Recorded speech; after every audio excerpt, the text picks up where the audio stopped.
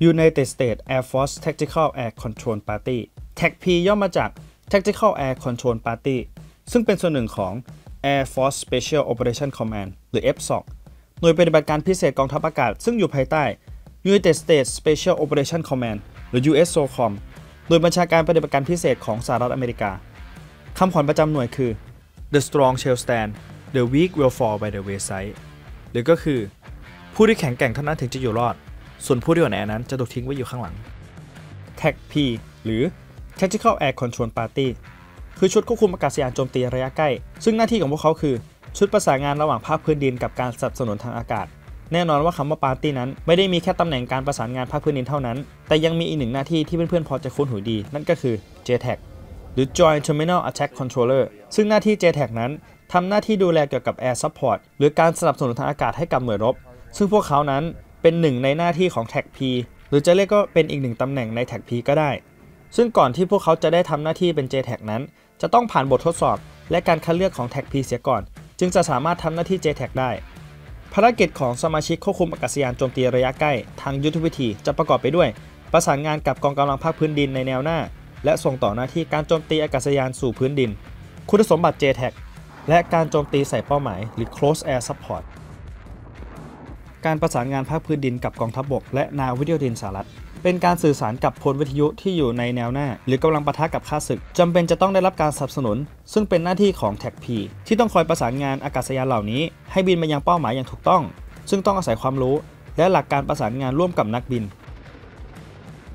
หน่วย TAC-P นั้นถือว่าเป็นหน่วยส่งทางอากาศที่มีความเชี่ยวชาญในยุทธวิธีการโดดร่มหลากหลายประเภท และการเรียกอากาศยานติดอาวุธ เพื่อส่งต่อหน้าที่และการชี้เป้าหมาย และการทำลายเป้าหมายให้กับ JTAC เพื่อโจมตีเป้าหมายจากอากาศยานฉุดภาคพื้นดิน ซึ่งเป็นการโจมตีทางอากาศระยะใกล้ที่ยอดเยี่ยม 3-2, use 105 shells. Bring the rain.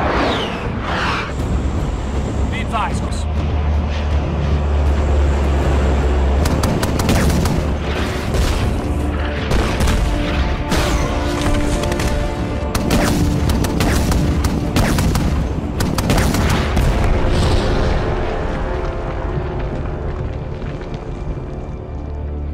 JTAC คือคุณสมบัติที่นักเรียน TAC-P จะเรียนขั้นพื้นฐานก่อน ซึ่งก่อนที่จะสำเร็จหลักสูตรเป็น TAC-P นั้น จะต้องไปสอบคัดเลือกเพื่อทำหน้าที่เป็น JTAC ซึ่ง JTAC นั้นจะเป็นคุณสมบัติเกี่ยวกับการประสานงานกับอากาศยานติดอาวุธทุกประเภท และจะรับหน้าที่ในการนำอากาศยานติดอาวุธเหล่านั้น ไปทำลายเป้าหมาย ซึ่งการโจมตีรูปแบบนี้เรียกว่า close air support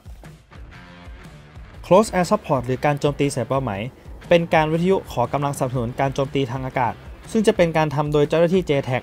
ซึ่งเจ้าหน้าที่ JTAC นั้น จะเข้ามาสั่งการกับอากาศยานให้เข้าโจมตี จึงต้องติดต่อประสานงานกับกองกำลังภาคพื้นดินอย่างใกล้ชิด ซึ่งผู้ที่มีความสามารถในการวิทยุควบคุม close air support นั้นจำเป็นจะต้องมีคุณสมบัติ หรือได้ผ่านการสอบ รวมทั้งต้องมีความรู้ในการสื่อสารบอกพิกัดตำแหน่งของเป้าหมายได้อย่างรวดเร็วและแม่นยำและจะต้องควบคุมการโจมตีทางอากาศ ไม่ว่าจะเป็นปืนใหญ่ของทหารราบ หรือ fire support หรือแม้แต่กระทั่งปืนใหญ่จากเรือรบหรือ naval gunfire เพื่อยิงสนับสนุนในแนวรบได้อย่างมีประสิทธิภาพ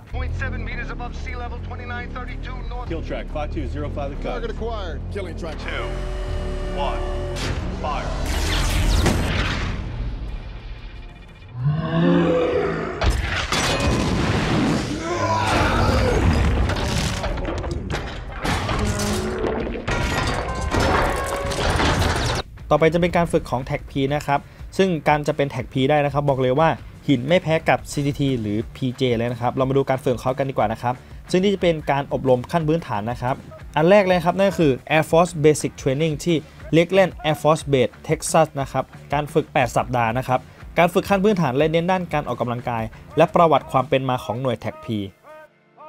Special Warfare Pipe Course นะครับที่ Lakeland Air Force Base Texas นะครับ ฝึก 8 สัปดาห์นะครับ จะเป็น หลักสูตรเตรียมสงครามพิเศษของกองทัพอากาศนะครับ Tech P Preparatory Course นะครับที่ Lakeland Air Force Base Texas 1 สัปดาห์นะครับ เป็นหลักสูตรที่จะเน้นไปด้านของการออกกำลังกายและจิตวิทยานะครับ และโภชนาการ Tech P Athletic Course นะครับที่ Lakeland Air Force Base Texas 12 สัปดาห์นะครับ เป็นการฝึกอบรมขั้นต้นนะครับรวมทั้งการฝึกเกี่ยวกับการสื่อสารผ่านวิทยุทางยุทธวิธี และพื้นฐานการสนับสนุนการโจมตีทางอากาศระยะใกล้นะครับ U.S. Air Force Basic Survival School ที่ Fairchild Air Force Base Washington 3 สัปดาห์นะครับ เป็นการฝึกเซียหรือการฝึกเอาตัวรอดในภาวะต่างๆ นะครับ Joint Terminal Attack Control Qualification Course นะครับ ฝึก 4 สัปดาห์ เป็นหลักสูตรควบคุมอากาศยานโจมตีระยะใกล้นะครับ และการปฏิบัติการทางอากาศอื่น ๆ นะครับ Basic Airborne Course ที่ Fort Benning รัฐจอร์เจียนะครับ ฝึก 3 สัปดาห์ เป็นการฝึกการโดดร่มต่างๆ ต่อไปจะเป็นการฝึกขั้นสูงของหน่วยนะครับ ก็คือ